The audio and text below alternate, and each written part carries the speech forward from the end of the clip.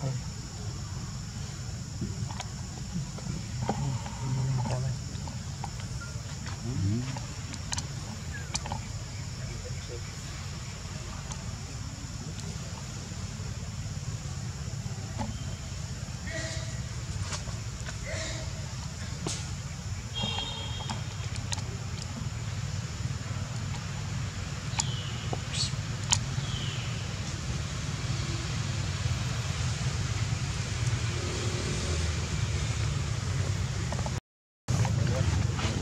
buat apa namanya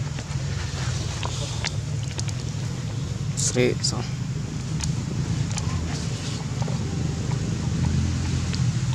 Atau hmm? sama tim